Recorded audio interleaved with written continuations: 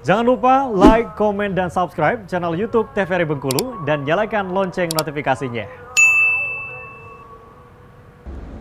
Balik lagi di opini obrolan pagi ini pemirsa masih dengan Teh Anggi di sini dan masih membahas mengenai cita rasa kuliner daerah. Nah, Teteh, selama menjalankan bisnis ini pasti ya kan kesaliannya seperti itu gitu ya Teh. Mm-mm. Begitu terus pasti ada titik jenuhnya nggak sih Teh? Pasti. Nah, gimana tuh Teh? Waktu Teteh dapet titik jenuh itu? Ada kemarin mungkin jenuhnya lebih ke sakit kayaknya badan ya. Sakit. Kerja oh, terus iya sih. kerja terus kerja terus gitu kan. Udah udah sharing sama karyawan. Gimana nih? Capek nggak? Gitu kan. Capek teh. Mau ke mana? Gitu. Pasti healing sih. Ja- Healing. lebihnya ke healing jalan-jalan gitu kan. Ajak karyawan. Kalau karyawan nggak mau ya udah eh, satu keluarga aja diajak Jadi seru juga ya kalau Teteh jenuh. iya Nah, yang lain jalan-jalan. Ah. nggak jalan sendiri. Heeh. kadang kan udah udah semua beres ini beres udahlah berdua aja sama suami gitu kan Oh, kadang Ayo, berdua ah, aja. berdua aja sama suami ayo lebih kita keliling-keliling Iya. bosan gitu. Bosan, Heeh. gitu. lebih jatuhnya sih lebih ke pasangan lah kayaknya ya Mhm. biar ada semangatnya gitu kan Biar tetap oke Mm-mm. juga gitu Iya, ya. Uh-uh. harus harus seimbang nih. Iya, harus seimbang. Biar nggak mumet banget Heeh. gitu ya. karena moodnya cewek tuh kan kadang kan ada yang ters- tersinggung dari itu Wajar pasti Heeh, ya, Teh. pasti. Gitu. Nah, kalau buka bisnis itu Teh, hal yang tersulit tuh apa sih Teh? Yang Kalau- menjadi tantangan cukup besar gitu loh. Sampai Teteh sampai sekarang ini juga kayak aduh ini memang harus yang lebih diperhatikan gitu mengenai apa gitu. karyawan sebenarnya mbak Oh, yang karyawan. sulitnya heeh. Kenapa Teh sulit? dibilang kayak kita udah pendekatan udah ini kan udah gitu kan kadang kan masih kayak mungkin karena masih gadis semua gitu kan Egonya masih tinggi iya tingginya. heeh, kadang kan masih tinggi tinggi kadang kan mau dimarahin gimana nggak dimarahin gimana gitu Tapi harus tegas Ah, ya harus Teh. tegas Paling kalau marahnya gimana Teh Teh? diem Aduh, itu yang serem ya Teh. Orang yang Ha-ha. marah diam. Iya, mending diem daripada nanti tersinggung anak orang. Tapi Iya, kalau mereka tuh kan udah tahu juga kalau udah diem, mah udah Tete udah diem nih. Bahaya nih, Mm-mm. warning nih. Udah udah udah nggak nentu juga. Kalau udah diem, mereka juga udah nggak nentu kerja, nggak ada nggak enak. Oh. Heeh, gitu. Jadi serba salah iya, di situ. serba Heeh. salah sebagai owner ya Teh ya. Jadi aduh harus pokoknya memang harus menjadi yang menstabilkan itu semua ya Teh. Heeh. Gimana lah caranya pikirkanlah sendiri gitu ya. nah, apa nih Teh cerita suka dukanya Teh selama Teteh membuka usaha eh, di bidang kuliner ini. Tapi kita ceritanya dari suka dulu. Boleh nggak nih di spill? Ah, sukanya dulu. Iya. Dari sukanya dulu. Eh, kalau dibilang suka duka tuh pasti ada Pasti. namanya kita buka usaha kan Ah, bener. Ah, kalau untuk sukanya biar senengnya gitu kan satu ya dapat penghasilan kita kan nah terus eh, kedua kita juga bisa buka lapangan pekerjaan untuk saudara untuk orang lain terus bisa gimana ya nyenengin orang tua juga kalau untuk dukanya kadangan Apa tuh? Kok udah ketawa duluan tetenya? Apa tuh? kadang kan gimana ya mbak ceritainnya ya Eh, kayak kemarin tuh memang pas dapat seminggu kemarin eh seminggu dua minggu kemarin Mhm. itu rada rada sepi memang kan jualan kan nggak kayak biasa Iya. Terus banyak yang wa teh nggak jualan ya? Padahal kan jualan terus kan. Hmm. jadi jadi kayak horor gitu kan. Heeh, dari situ. Jadi kayak horor gitu. Baru sekali loh mbak kayak gitu kan. Jadi Mhm. bingung. Kayak jadi kayak mistik. Kayak gimana ya ngomongnya ya? Oh, horor horor gimana sih teh? kalau orang bilang nggak buka padahal kita buka. Dalam Oh, satu jadi minggu. kayak kayak nggak kelihatan iya gitu ya? kayak nggak kelihatan. Di situ pertama kali. Ih, serem banget teh. Heeh, bener.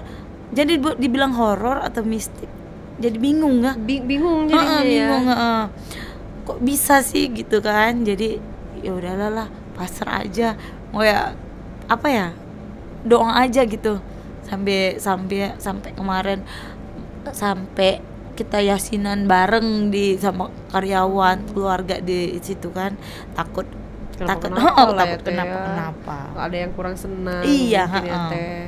Dan akhirnya setelah itu teh, alhamdulillah alhamdulillah. tak minta rukiah kan di Mhm. rukiah tempat kan sama ada ustadz di situ Semingguan itu teh.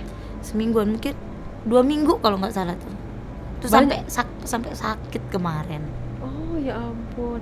Teteh sadarnya itu karena ada customer yang ngubungin. banyak banyak rata-rata semua Rata-rata semuanya. Heeh. Dan yang ketika- untuk penjualan di di lapak gitu kan di tempat itu tuh nurun drastis cuma alhamdulillah ada yang online ini yang terbantu sama online karena kan nggak Mhm. nggak ngelihat lapak itu kan Iya. biasanya yang jajan yang jajan ke situ tuh yang rada Oh gitu. Mm-mm. Terus apa ketika Teteh tahu, oh ternyata gini ini alasan sepi tuh. Heeh. itu, itu gimana waktu tahu itu teh? oh langsung drop langsung sakit loh kemarin Karena mikirin itu Heeh. ya. Kayak kok bisa? Itu nggak Iya. masuk akal juga ya Heeh. teh ya? Heeh, untung kemarin kan ada kuliner juga kan terbantu sama yang eh, buka ngikut kuliner Mhm. Ternyata bisa kayak gitu ya? bisa Tiba tidak terlihat gitu ya? iya Serem ya teh. sampai biasa ojek loh ojek yang Iya. udah kenapa tutup loh aku buka terus loh. Nggak pernah libur. Teteh posisinya di mana tuh? ya di rumah. Ah, ada yang mau ngambil ngambil apa kemarin tuh ya? Ngambil pesanan gitu kan? Iya. Eh, teh udah buka? Udah. Lanjut lah bang ya. Di mana? Ini yang baru nih yang baru. Iya. Maxim. Heeh. yang baru. Itu sampai jalan sampai ke rumah sakit Medika mau cari ke mana sampai ke Oh, Medika udah jauh. Nggak kelihatan nggak yang mana padahal kan titik masing itu kan udah Udah udah tertera, jelas. nggak ada nggak ada eh, ini tulisan somai teteh nggak ada Oh, padahal udah gede banget. udah gede banget spanduk udah besar dari talas udah ada somai Iya iya iya, ih serem ya teh. Hah, itu makanya kayak horor mistik ya. Iya, tapi pernah ngeliat apa gitu teh? Oh udah sering kalau gitu mah. Oh.